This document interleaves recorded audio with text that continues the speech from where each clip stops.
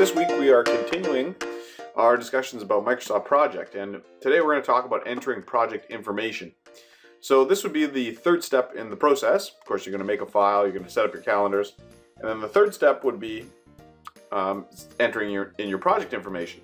This can be done on the Project tab and then clicking the Project Information button and this is going to pop up. So let's go through this. First thing you have would be setting a start date of the project or a finish date of the project. Um, and this is going to be determined based on what you set schedule from to be. So if I schedule from a project start date, obviously I can pick a start date. If I schedule from a finish date, I can pick a finish date. Now, uh, how you schedule a project does impact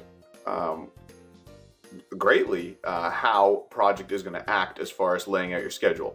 So when you set a project to be based on a start date, all your tasks by default are set up to begin as soon as possible. If you set up a project to be based from a finish date, then all tasks are going to be scheduled to be as late as possible, meaning pushing it as close to the finish date. So what project's trying to do is create the shortest um, time frame for, for your schedule. So if I change this to project finish date, I can pick a finish date. If I change it to start date, I can pick a start date. The majority of our projects out there are start date projects.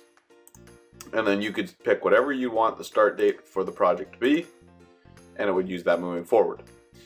Then you have the current date. Uh, that will update as, as it moves forward. You can also choose what you want the current date to be, and this could be for a number of things. You could have created custom views that incorporate the current date that you might want to change.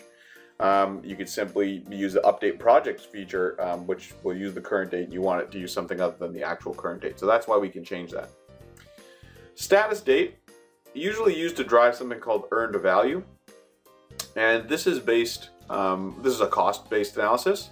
So setting a status date, here, here's how I use it. The status date is the date to which I have received actual information. So if I'm two weeks into my project, but I only have actual numbers from that first week, well then that's going to be my status date. Um, there's varying ways to use it, but that's, that's how I utilize status date. Calendar is what the project's going to be using. So this is the uh, default calendar for the project. We created a calendar earlier called 10 hour shift. So if I wanted to use that for the project calendar, you could choose that there. And then you have your default priority. Right now it is defaulted to 500 uh, meaning medium or normal priority.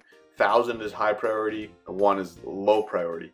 And we'll talk about these priority levels when we talk about resource leveling and, and a little bit later on. And we'll explain why there's such a great range there. But 500 is considered normal.